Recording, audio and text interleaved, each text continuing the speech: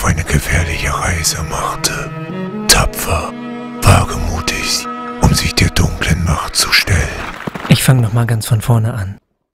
Wir wissen alle, dass die Nachfahren von altägyptischen Pharaonendynastien heute immer noch aktiv sind und in Form von Königen, Premierministern, Präsidenten oder ähnlichen hochrangigen Staatenführern mit der Hilfe von dunklen Mächten die Bewohner der Erde in nicht selbstständig denkende Robotersklaven verwandeln wollen. Gender Mindfuck für die Frühsexualisierung deiner Kinder, um sie mental und körperlich zu missbrauchen. Religionskriege, um deine Brüder, Väter und Söhne als kleine Soldaten auf den Schlachtfeldern zu verheizen, deren Anführer sich auf beiden beiden Seiten gut verstehen. Rassenvermischungen für die Totalauslöschung der kulturellen Vielfalt und der Abschaffung völkischer Unterschiede, Kugelerden-Fiktionstheorien, um jeden Freidenker klarzumachen, dass die Unendlichkeit eine um den Erdball kreisende weiße Taube in deinem Kopf ist. Das ewige Märchen von dem zu Neige gehenden Öl, um dich gefügig zu machen für die nächste Preiserhöhung an der Tanke. Lügen, Medien, Lügen, Werbung, Lügen, Presse und Lügenpolitiker, deren pädophile Vorliebe sie erpressbar machen soll, um Entscheidungen Entscheidungen der Elite zu verkaufen, bei denen du mit deiner letzten Restempathie im Strahle speien würdest. Dein Gott heißt Geld und zwar unbar, damit du deine Seele auf einen Mikrochip unter der Haut trägst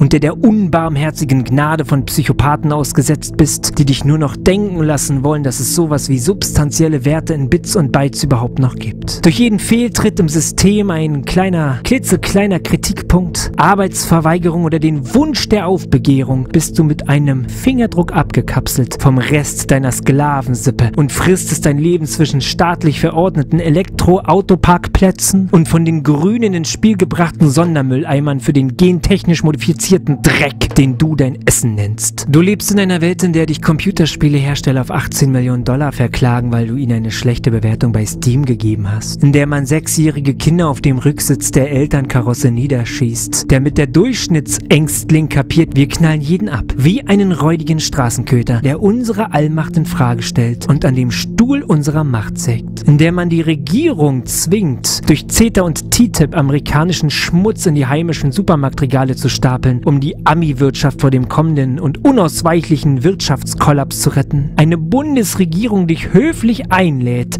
sich doch bitte für zehn Tage autark versorgen zu können, um dir auf der einen Seite das Fürchten zu lehren und die Wirtschaft anzukurbeln und um dir auf der anderen Seite im Nachhinein sagen zu können, wir haben es dir doch gesagt. Eine Welt, in der Notenbankchefs Aktien angeschlagener Konzerne und Zombiebanken kaufen, Staatsanleihen mit Negativzinsen, Unternehmensanleihen, alles was angeboten wird, um die ohnehin schon wässrige Suppe der Sparer noch H2O-haltiger zu gestalten und den kommenden und unausweichlichen Crash der Finanzwelt noch drei Wochen hinauszuzögern, in der man Containerschiffe auf der ganzen Welt als Pfand für nicht ausgeglichene Schulden hält, Österreich sich auf soziale Unruhen vorbereitet, Russland mit 40 Millionen Ureinwohnern die größte zivile Luftschutz-Bunker-Kriegsvorbereitende Übungen abhält seit dem angeblichen Ende des Kalten Krieges. Der größten Blasenbildung bei so ziemlich jeder Form von Krediten, in der ein Venezolaner für eine Unze Silber Nahrung für ein halbes Jahr bekommt. Dort sieht man beispielhaft unsere Zukunft und das, was sich die meisten hiesigen linksversifften Träumerchen aller sowas gibt's doch nur da drüben argumentieren Argumentierer gerne wegdiskutieren würden. Und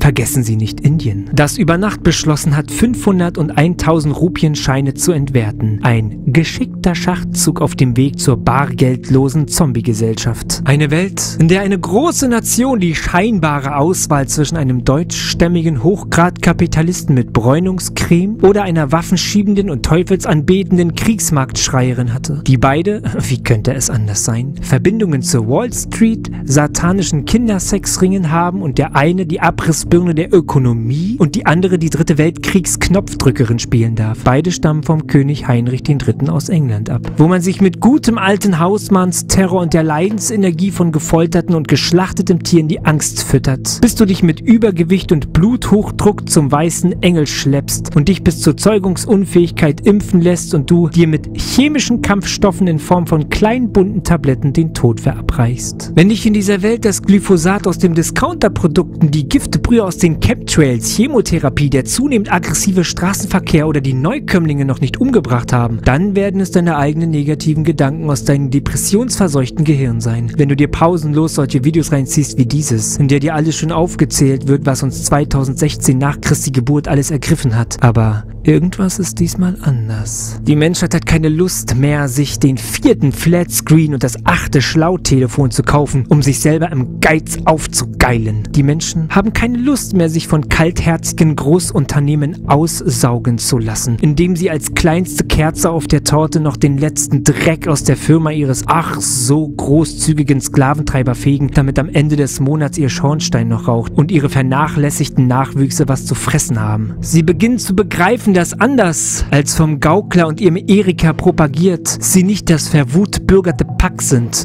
und sie kein Problem darstellen. Sie informieren sich weit ab von den sich stets verhühnenden Märchenmedien, den von US-Rael gleichgeschalteten Manipulatoren aus der Flimmerkiste, die ihnen auch noch in 100 Jahren erzählen werden, dass die Deutschen die ewige Last der vergangenen Schuld auf ihren gedemütigten Rücken zu tragen haben. Die kleinen Leute auf der Straße verstehen, dass sie mit gesunden Nahrungsmitteln fernab der Wursttheke und viel Bewegung an frischer Luft ihr Leben verlängern können und nicht mit aufmerksamen, liebevollen Medikamenten vom Onkel Doktor, der für jede initiierte Giftspritze Bonis von der Pharmalobby einstecken darf. Polizisten und Soldaten bemerken allmählich, dass sie die Prell- und Sündenböcke für das pure Versagen des Systems sind und keine Zukunftsperspektiven in einem Land erkennen, das in Asylantenkriminalität erstickt, deren Orde per Muff die Maulkörper an ihren Mündern anfangen zu brennen und sie keinen Sinn mehr darin sehen, auf die letzten aufrichtigen Deutschen einzuprügeln, deren Sprösslinge dieselbe als Schule getarnte Hirnwaschanstalt besuchen wie die eigenen Juniors. Der Durchfall, der aus den Unterhosen der Hochgeschwindigkeitsaktienaustausch quillt, weil ihre Därme von der Tinte der Wertlospapiere schon zerfressen sind und deren Angstschweiß vor dem kommenden Finanz-Supergau stinken bis zum Geldhimmel des Umverteilungs-Ungerechtigkeitsuniversums. Und sie wünschen sich jeden Abend, wenn sie ihre fünf Schlaftabletten mit 50 Jahre alten Brandwein herunterspülen, um noch zwei Stunden Schlaf zu erhaschen, dass sie morgen eine monetäre Entzugstherapie beginnen werden, um in 20 Jahren in den Spiegel schauen zu können, um noch einen Hauch von Menschlichkeit zu sehen. Dabei fing alles so schön an.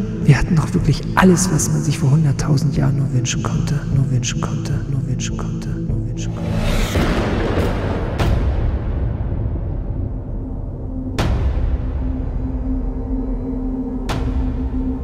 Doch am anderen Ende der Milchstraße machten sich düstere Energien auf den Weg zu uns, die man als abgespaltene Seelenkörper von höher entwickelten Wesen benennen könnte, die einige traumatische Erlebnisse durchmachen mussten, wie der Zerstörung ihres eigenen Planeten beiwohnen. Sie kamen zu uns als Dämonen und nisteten sich in die Innererde ein und studierten von dort aus unbemerkt den halbnackten Urmenschen im Garten Eden, der dort ohne Scham und Schuld herumlief und nicht einmal den Unterschied zwischen Gut und Böse kannte. Diese diabolischen, verfeinstofflichen Wesen aus der schwefligen Unterwelt saugten das menschliche Sein geradezu auf und schmiedeten einen hinterhältigen Plan, wie es ihnen gelingen würde, die emotionsbetonten Herzensmenschen zu manipulieren und sie zu willenlosen Sklaven zu machen, die ihnen auch noch freiwillig helfen würden, diesen blauen Planeten in eine von Gier zerfressene karge Wüstenlandschaft zu verwandeln und die humanoiden Gotteskinder gleichzeitig geistig zu entleeren und ihnen alles Natürliche und Biologische absprechen könnte, damit sie selbst einsehen würden, dass eine Welt mit unselbstständigen lebenden Befehlsempfangsmaschinen ein großer Schritt fort von allem Lebendigen ist, ein Fortschritt des Menschen. Der Teufel nutzte eine entscheidende Komponente des menschlichen Miteinander aus, welche er selbst noch vor Urzeiten aus sich selbst heraus wegklonte, da er es gegen die absolute und allumfassende Intelligenz eintauschte. Etwas, was im ganzen Universum nur die Abkömmlinge des Himmels hatten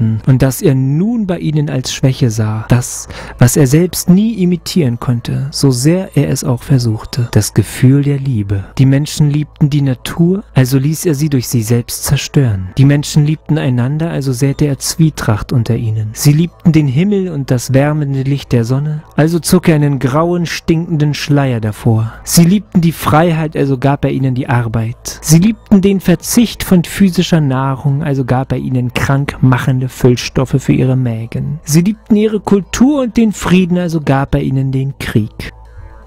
Luzifer selbst ernährt sich vom Leid der daraus resultierenden Umstände, die die Menschen und die Tiere jetzt in Hülle und Fülle aussonderten. Wer sich mit dem Thema Trauma und die Habitusse der Traumata-Opfer auseinandersetzt, wird bemerken, dass die Dämonen genau handeln wie eben diese.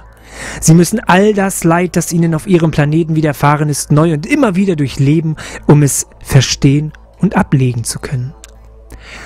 Aber ihnen fehlt was, das Gefühl, also stehlen sie es uns aus Neid und Missgunst.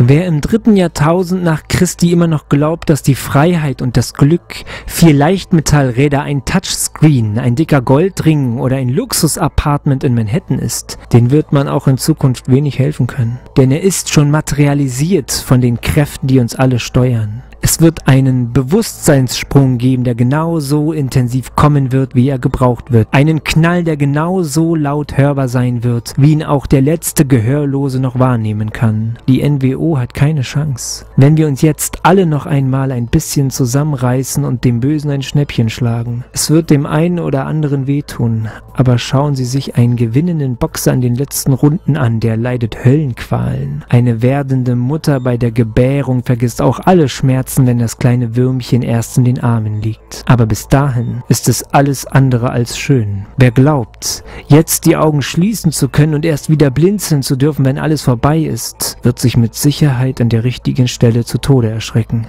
Wir haben so gut wie gewonnen, aber das heißt nicht, dass wir uns zurücklehnen können und die Show mit Chips und Bier genießen dürfen. Die kommende Krise wird nochmal alles von uns abverlangen, was uns an Restkräften übrig geblieben ist. Eine künstlich herbeigeführte Krise durch die dominante irrsinnige Minorität, um uns ja allen zu zeigen, wie schlecht es doch mit verschiedenen Kulturen, Bedürfnissen, Sprachen, Bargeld lief. Doch sie haben die Rechnung ohne den Wirt gemacht. Ihr dummes Spiel ist so durchschaubar, dass selbst der letzte Trunkenbold unter der S-Bahn-Brücke kapiert, was hier gespielt wird. Eine so deutschlandfeindliche und US-Rael-freundliche Politik hat wahrscheinlich noch nie jemand zuvor erleben dürfen. Was das deutsche Volk an Verhöhnungen und geistigen Arschtritten erleben darf, trotzt jeder Vorstellungskraft.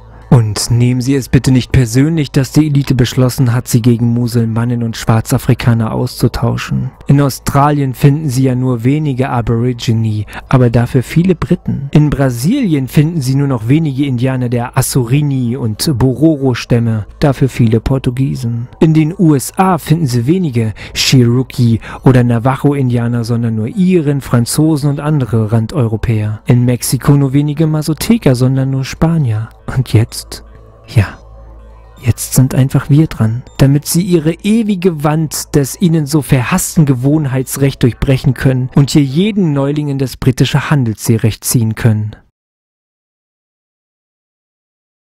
Gehe in die Stille, meditiere, entgifte und stell dir die Frage, wie und wo siehst du dich in einem, fünf oder zehn Jahren? Willst du weiter schuften gehen für ein ausbeuterisches System, das dich und deine Kinder zu dauerüberwachten Sklaven umzüchten will? Oder fängst du mit deiner Heilung an und lässt diese wie eine wärmende Decke allein durch dein Handeln anderen durch Nachahmung zukommen? Damit diese sich in einem ewigen Winter des staatlichen Missvergnügens daran laben dürfen. Finde wieder Vertrauen in die natürlichen Prozesse. Vielleicht denkst du über eine Hausgebärung nach und rennst nicht wegen jedem kleinen Wehwehchen in ein Krankenhaus. Unterstütze Menschen, die deine Hilfe brauchen, wenn du noch in Saft und Kraft stehst und bemerkst, dass diese nicht mehr ganz so können wie andere. Vertrau dem bevorstehenden Bewusstseinssprung und verfall nicht in jugendlichen Aktionismus, nur weil alle vom Dritten Weltkrieg reden. Lass dein Geld nicht in Institutionen liegen, die selber 45 Billionen Schulden haben und nur darauf warten, den Stecker vom Hauptserver ziehen zu können. Beschäftige dich mit Dingen, die du willst und nicht mit Dingen, die du nicht willst. Sei kreativ und konstruktiv. Zeichne, lese und musiziere und gib stets auf dich acht. Dein physisches Leben hier ist eine begrenzte Reise auf einem Planeten, der dir alles geben kann.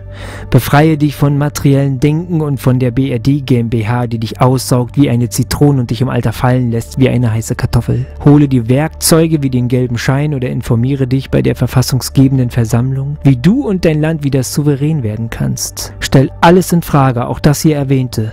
Informiere dich und informiere andere. Und ich wiederhole jetzt einen Satz von Alexander Wagand. Wenn du weißt, wer du bist, dann kann dir keiner was. Mensch, Person, Sklave oder Bioroboter. Du entscheidest.